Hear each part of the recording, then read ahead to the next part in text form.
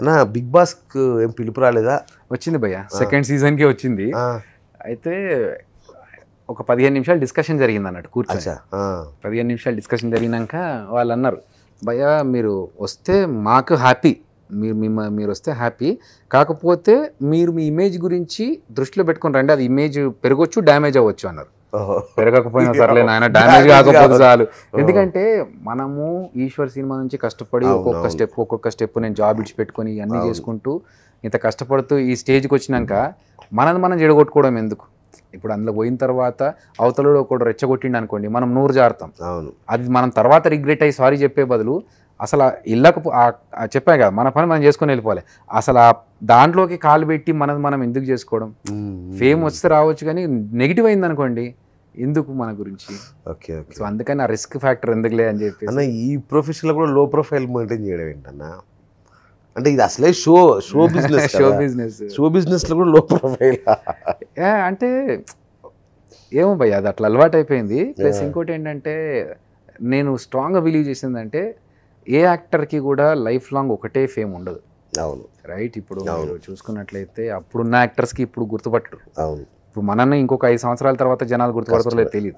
So ఇప్పుడు నేను హైఫైలు నేను బిఎండబ్ల్యూ కార్లు వేసుకొని తిరిగి నేను రిచ్గా మెయింటైన్ చేసి నాకు నలుగురు బాడీ గార్డ్స్ని పెట్టుకొని తిరిగిన అనుకోండి ఒక ఐదేళ్ళ తర్వాత నా ఫైనాన్షియల్ పొజిషన్ ఎట్లా ఉంటుందో తెలియదు. తెలియదు. అప్పుడు నేను ఇదే మెయింటైన్ చేయకపోతే నాకు ఒక కొడతా ఉంటుంది అయ్యా నాది పోయిందా తగ్గిపోయిందా అని డిప్రెషన్ ఇవన్నీ ఉంటాయి. మొన్న మీ ఆడి కారు కొన్న వాళ్ళకి కూడా బాగా ఇబ్బంది అయింది అనుకుంటా లాక్డౌన్ వల్ల. సో నేను అనేది ఏంటంటే మనం ఎలా ఉంటామో అలాగే ఉండాలి. లో ప్రొఫైల్ అన్నప్పుడు అంటే నిజంగా మేము మొన్న సంక్రాంతి ఈవెంట్స్ కోసం అటు రాజమండ్రి అటు వెళ్ళాం కదా అక్కడ ఆడియన్స్ని చూసి వాళ్ళందరూ చూపించే అభిమానం అది మాకు చాలా హ్యాపీ. సో అట్లా ఆరు నెలలకు ఒకసారో మూడు నెలలకు ఒకసారో అక్కడ పోయి ఎనర్జీ తీసుకొని వస్తే చాలు మనకి. మనం ఇక్కడ హైఫై బిల్డప్ చేసి ఇప్పుడు పక్కనోడు పట్టించుకొనే పట్టించుకోకుండా మనం నలుగురు వేసుకొని తిరిగినాం అనుకోండి ఎందుకు మనకు? సో అవన్నీ ఫాల్స్ ప్రెస్టీజ్ అవన్నీ కొన్నారా లేదా మీరు? నేను లేదు భయ్య. నాది మారుతి కారే. మనం ఎందుకంటే లగ్జరీస్ ఐటమ్స్ మీద నేను. వారెన్ బఫెట్ ది ఫాలో అవుతా. లగ్జరీ ఐటమ్స్ మీద పెట్టాను నేను. ఇన్వెస్ట్మెంట్స్ మీద పెట్టాను. ఆయన ఈ రోజుకి ఒక అపార్ట్మెంట్లో ఉంటాడు ఎగ్జాక్ట్లీ చిన్న మారుతి ఎయిట్ హండ్రెడ్ అట్లాంటి. అట్లాంటి చిన్న కార్ ఒకటి Fiat kind of car. So అంటే లగ్జరీ ఐటమ్స్ మీద పెడితే చూసే వాళ్ళకి బాగుంటది. కానీ ఈఎంఐ ఆయన కట్టడు. మనం కట్టుకోవాలి? ఎగ్జాక్ట్లీ అందుకనే మనకు ఉన్న దాంట్లో మనం హ్యాపీగా ఉండాలి. నేనేంటంటే ఒక నాకు ప్రాక్టికల్గా ఆలోచిస్తే ఒక ఆర్టిస్ట్ లైఫ్ కంప్లీట్గా ఫేమ్ ఉండదు. సో కొన్ని కొన్ని సంవత్సరాల తర్వాత మనకు అవకాశం ఉండొచ్చు ఉండకపోవచ్చు. అప్పుడు కూడా నేను హ్యాపీగా ఉండాలి. అంటే ఉన్నంతలో నేను ఎవరిని చెయ్యి చాచి అడగకుండా ఉండాలి. అందుకోసం నేను ప్లానింగ్ చేసుకొని పెట్టుకుంటాను కానీ ఆ డబ్బులు తీసుకొచ్చి ఇక్కడ ఆడి కారు కొంటే తర్వాత మళ్ళీ అమ్ముకోవాల్సి అదే కదా. అంటే ఇప్పుడు కొన్న వాళ్ళు అమ్ముకున్నారా? అట్లని కాదు.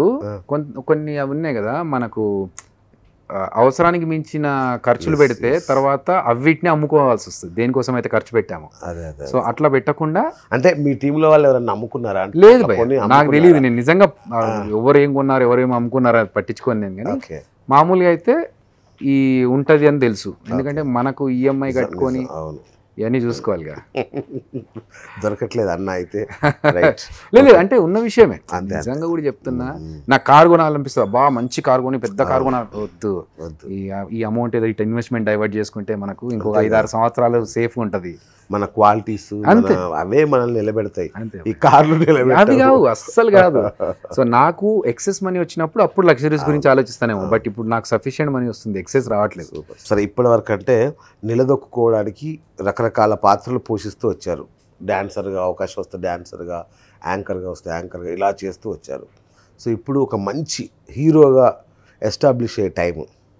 మరి ఇప్పుడు ఇప్పుడైనా అవన్నీ వదిలేస్తారా? అన్ని సమపాలలో నడిపించుకుంటూ వెళ్తారా? ఇట్స్ ఇట్స్ నాకు అంటే నేను అనుకోవడం ఇట్స్ బ్రేక్ ఈవెన్ టైం మీకు. అదే అదే. అంటే నిజంగా భయ్య నాకు ఒక మంచి సినిమా వస్తే లైక్ దీంతో నిలదొక్కుకోవాలి నిలదొక్కున్నాను అనుకునే పేరు వస్తే నేను కంప్లీట్ కాన్సన్ట్రేషన్ ఒక దాని మీద పెట్టడానికి నేను రెడీ. అయితే దానికోసం నేను వర్కౌట్ చేయడానికి కూడా రెడీ.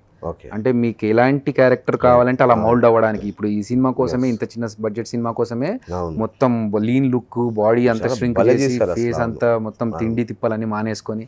సో అంత దానికే మనం అంత చేసినప్పుడు ఒక మంచి సినిమా నిలదొక్కునే లైఫ్ ఇండస్ట్రీలో ఇప్పుడు విజయ్ దేవరకొండ లాంటి ఆయనకు ఒక్క సినిమాతోనే అంత బ్రేక్ వచ్చింది. సో అలాంటి సినిమా ఒక్కటి పడుతుంది అనిపిస్తే నా టోటల్ హండ్రెడ్ పర్సెంట్ కాన్సన్ట్రేషన్ ఒక్క సైడ్ డైవర్ట్ చేస్తాను సో దానికోసం ఏం కావాలని ఎంత కష్టపడాలని నేను కష్టపడతాను కానీ అది మనకు ఆ భరోసా రావాలి ఇప్పుడు యాక్చువల్గా తెలంగాణ స్లాంగ్ని ఇంట్రడ్యూస్ చేసింది మీరే అనుకుంటా ఈశ్వర్.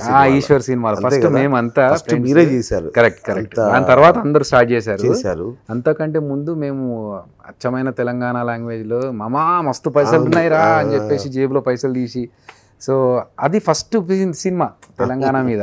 ప్రభాస్ గారు మాట్లాడడం కానీ సో దాని తర్వాత ఒక్కొక్కటి ఒక్కొక్కటి మెల్లమెల్లగా రావడం స్టార్ట్ అయింది. అప్పుడైతే మమ్మల్ని దూలిపెట్టుకెళ్ళి పట్టుకొచ్చి రాయింది అనిపించింది. ఎందుకంటే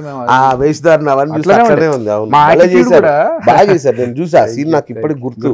ఆ థియేటర్ ముందు లోపల ఫస్ట్ డే షూట్ తెలుసా? అవునా? Very first day. ఆ రోజు తీసుకుపోయి థియేటర్ దగ్గర వదిలేసి సుభాష్ థియేటర్ థియేటర్ ఆ, ముస్తాబాద్ దగ్గర. అప్పుడే ప్రభాస్ అన్న ఈ అందరు వచ్చిండ్రు. ఫస్ట్ సీన్ నా మీదనే. కెమెరా పెట్టేసి. బాబు నువ్వు ఏంటంటే ప్యాంట్ తీసి డబ్బులు తీయాలన్నాడు. అమ్మా ఓకే అని చెప్పి తీసి ప్యాంట్లకి వెళ్ళి పైసలు తీసిన. తీసినాక ప్రభాస్ అన్నాడు ఏంద్రా నీకు అంతమంది ముందు ప్యాంట్ తీయడం సిగ్గనిపించలేదా అన్నాడు. అసలు నేను ఎవరు ఉన్నారనే విషయమే మర్చిపోయినాను భయ్య. ఎంత ఈజీగా చేసావండి అన్న. ఆ సీన్ ఇప్పటికి గుర్తు నాకు. ఎంతో చాలా ఈజీ ఒక ఇరవై సినిమాలు చేసిన అటు చేసినట్టు చేశారు అవునా? దాని రంగస్థలం అలవాటు ఉందా? ఏం లేదు అప్పటి వరకు. అంటే స్టేజ్ షోస్ డాన్స్ షోస్ చేసేవాడిని. అచ్చా డాన్స్ లే. డాన్స్ లే. ఇమిటేషన్ డాన్స్లో నాకు. పేరుంది కాబట్టి. అక్కడ చూసే నన్ను ఈశ్వర్లో పిలిచారు. అచ్చా. సో ఆ స్టేజ్ ఎక్స్పీరియన్స్ ఉంది. జనాలంటే భయం అనేది లేదు. కాకపోతే ఆ రోజు యాక్టర్ కావాలన్న ఒక తప్పన నుంచే వచ్చినోని కాబట్టి ఛాన్స్ దొరికింది. దీన్ని ఎక్కడ వాళ్ళతో తిట్లు తినొద్దు మనం. ఏం అవును. ఆ. సీన్లో అందరిని డామినేట్ చేశారు. అయ్యయ్యో you, నిజంగా. అండ్ మొత్తం సీన్లో అందరిని డామినేట్ చేశారు. నా అదృష్టం ఏంటంటే అది very beginning of the cinema. So అది నాకు ఫస్ట్ ఫస్ట్లో అనగానే జనాలకి రిజిస్టర్ అయిపోతాడు వీడియో. అనేది. ఇంకా ఉండింది. ఎడిటింగ్లో లేపేసిండ్రు అది. ఎందుకంటే మొత్తం నువ్వే కనిపిస్తున్నావా? మిగతా ఫ్రెండ్స్ ఎవరు కనిపించట్లేదు అన్నారు. యాక్చువల్గా ఒక సీన్ ఉంటుంది. ప్రభాస్ అన్న వచ్చి నన్ను తీసుకెళ్ళి టికెట్స్ కోసం పదరా లడ్డు అని పిలుస్తాడు. ఆ, దానికంటే ముందు అక్కడ పోస్టర్స్ ఉంటాయి అన్నట్టు. అచ్చా. ఆ పోస్టర్స్ చూసుకుంటే ఒక్కొక్క పోస్టర్ ముందట ఒక్కొక్క పోజ్ పెడతా ఉంటాం. చిరంజీవి గారు పోజ్ ఇందిరా ఉంటది బాలకృష్ణ గారు ఒక పోజ్. ఉంటుంది. అవన్నీ పోజులు పెడతా ఉంటే అప్పుడు ప్రభాస్ అన్న వచ్చి. సో ఆ సీన్ ఉండింటే. మొత్తం హీట్ ఎక్కువ అయిపోయింది. అన్నట్టు ఉంటుంది. ఎట్లా ఉంటుంది ప్రభాస్ గారితో మీ రిలేషన్స్ ఇప్పటికీ? అప్పుడు అప్పుడు రిలేషన్ అంటే అంత ఎక్కువ కలవట్లేదు కాబట్టి కలిసినప్పుడు మాత్రం ఫస్ట్ సీన్ మా ఫ్రెండ్స్ అనేది గుర్తుంది ఉంటుందా? ఉంది and Prabhas pan India star అయిపోయింది ఆయన. నాకు నార్త్ సైడ్ వెళ్తే ప్రభాస్ కే సాత్ పిక్చర్ కియా అంటే భాయ్ ఇక పిక్చర్ ఆ ఫోటో లేతే ఆప్కే సాత్. ప్రభాస్ కే సాత్ కామ్ కియా అని చెప్పేసి ఆయనతో కలిసినందుకు నాతో ఫోటోలు దిగుతుంది అరే మై బి యాక్టింగ్ కియా వై దేకో అని చెప్పి నా ఫోటోలు చూపెట్టాల్సి వస్తుంది. ఏ దేకో ఏ దేకో అని చెప్పి సో ఆయనకున్న క్రేజ్ అట్లాంటిది. ఐఎమ్ వెరీ హ్యాపీ ఎందుకంటే మేము బాహుబలి అసిస్టెంట్ డైరెక్టర్ చేసినప్పుడు వీ డింట్ ఎక్స్పెక్ట్ ఇంత రేంజ్కి వెళ్తుందని చెప్పేసి. అసలు ఆయనకున్న క్రేజ్ నిజంగా. యాక్టర్గా అలాంటి క్రేజ్ వస్తే చాలు? లైఫ్కి నిజంగా హ్యాపీ ఉంటుంది తెచ్చుకోవాలంటే మీ చేతిలో ఉంది మన సైడ్ నుంచి కష్టపడుతున్నాం భయ్య. ఇంకోటి ఏంటంటే ఆయన పర్సనాలిటీ వేరు. ఆయనకున్న టాలెంట్ వేరు ఇంకా మనకున్న ఇంకా చిన్న అది అందరికి మనకి. మనకు కనీసం వెనక నుంచి పూజ చేసే ఫ్యామిలీ బ్యాక్గ్రౌండ్ కూడా లేకపోయా సినిమాల్లోకి. ఒక ఇండస్ట్రీలో ఒక కృష్ణంరాజు లాంటి ఒక బాబాయ్ ఉన్నా బాగుండు. అయ్యో అట్లుంటే ఇంకా అదృష్టం ఉండేది. కానీ. తెలంగాణ శకుంతల గారు మా నానమ్మనో అమ్మమ్మనో అనుకుంటారు జనాలు. అవునా? అనుకుంటారు. చాలా మంది. అడిగారు తెలంగాణ శకుంతలమ్మ మనవాడు కదా మీరు? అని. ఓకే. కానీ యాక్చువల్గా ఆమె తెలంగాణ కాదు. ఆమె తెలంగాణ కాదు. మరాఠీ. అవును. సో మాకు మేము ఇద్దరం కలిసి ఒక షో చేసాం అచ్చా అచ్చా ఓకే. నేను యాంకర్గా చేసా ఆవిడ జడ్జిగా చేశాను అచ్చా. సో అప్పుడు ఒక బామ్మ మనవడు అన్న రిలేషన్షిప్ లాగా ఒకటి ఎపిసోడ్ చేస్తే జనాలు నిజం అనుకున్నారు దాన్ని. నేను అదే మాట అన్న అమ్మ ఇట్లా నన్ను మేము మనవడు అనుకుంటున్నారంటే అనుకోని అనుకోని. ఏమో వాళ్ళు అనుకునే ఉంటే అనుకుంటారు ఆస్తి. రాసిచ్చేది అని. సో అట్లా కానీ అస్సలు ఫ్యామిలీ బ్యాక్గ్రౌండ్ లేదు భయ్య సినిమాలో. కానీ గ్రేట్ అన్న. అయినా నిలదొక్కున్నారు. నిలదొక్కు మీ డిసిప్లిన్ మీ మీరు అనగానే అభి అన్న అనగానే డిసిప్లిన్ అని చెప్తారు. థ్యాంక్ యూ మీ ఆ డిసిప్లిన్ దాంతో నిలబెట్టారు నిలదొక్కున్నారు. ఇట్లాంటి ఇండస్ట్రీలో ఉంటూ కూడా ఎట్లాంటి చెడలవాట్లకు కాకుండా మీ లక్ష్యం నెరవేర్చుకున్నారు. హీరో దాకా వచ్చారు.